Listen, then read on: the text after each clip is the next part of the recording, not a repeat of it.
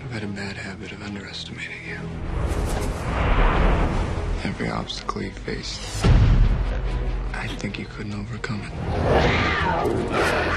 And you just did. I didn't expect you to seem so. you? My time as a human was over.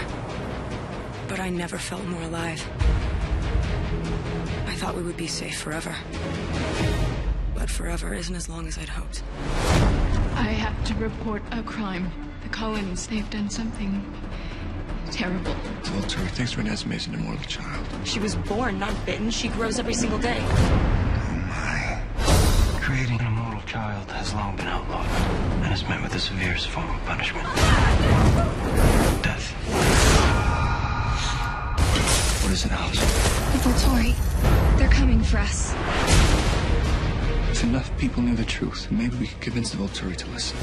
Our search began looking for vampires in the most remote corners of the world, My family's in danger. I need your help.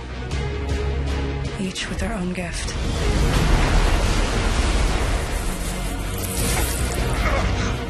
You are an amazing woman. We'll join you. Pax will fight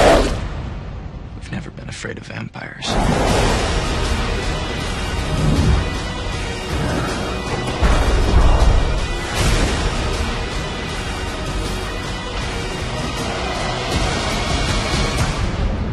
I'll never let anybody hurt you.